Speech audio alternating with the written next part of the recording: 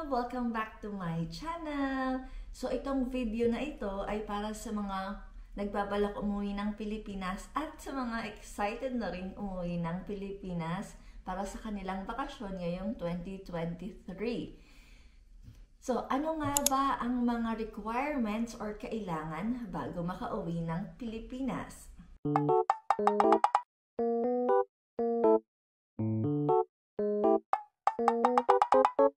Merong apat na requirements para makauwi ng Pilipinas. Ang pinakauna, syempre ay ang ating pasaporte or passport.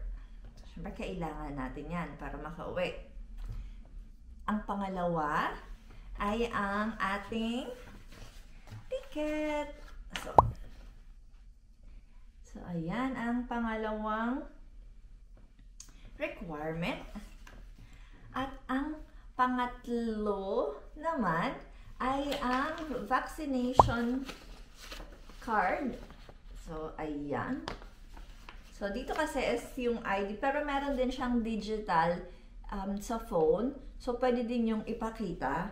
Pero as mas okay if naka-ready na rin yung yung printed or yung mismong vaccination card. Sa mga unvaccinated naman na magka-travel sa Philippines, make sure na magpe-present lang kayo ng negative test um, within 24 hours prior to departure. So, yun lang ang kailangan ng mga unvaccinated na uuwi ng Pilipinas.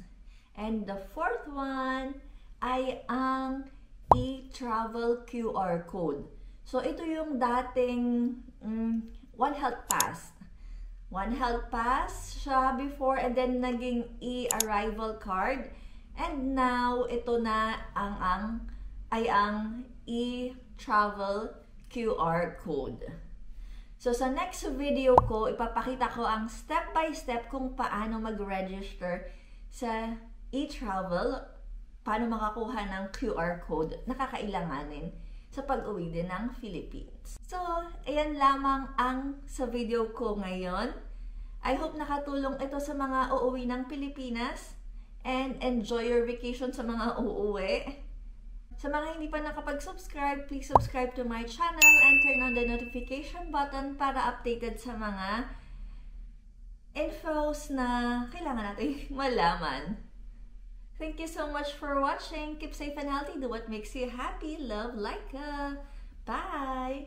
Take my hand and hold it tight. Look at the paintings, I'll be your guide. Don't stop looking in my eyes.